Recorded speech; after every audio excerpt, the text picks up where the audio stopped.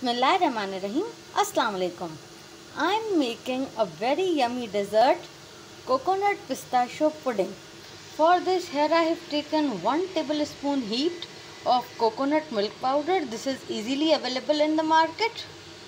3 tablespoons of pistachio powder, half teaspoon of cardamom powder, half cup of sugar, 2 tablespoons of powder milk, one and a half tablespoons of corn flour and 4 tablespoons of condensed milk. And here I have taken two and a half cups of milk. Now in the milk I will add sugar. Bismillahirrahmanirrahim. And cardamom. Bismillahirrahmanirrahim.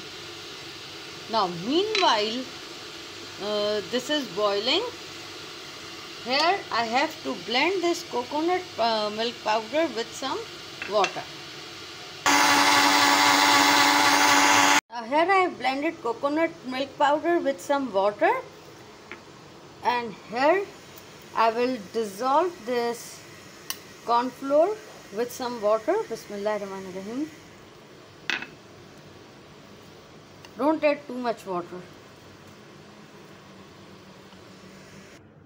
Now here I have diluted the corn flour in the water and here this milk is boiling and now I will add in condensed milk. Bismillahirrahmanirrahim.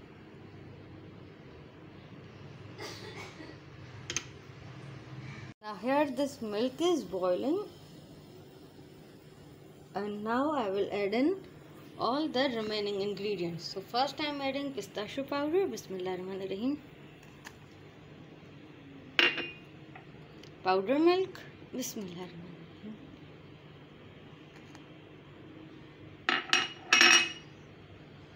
Coconut milk, Bismillah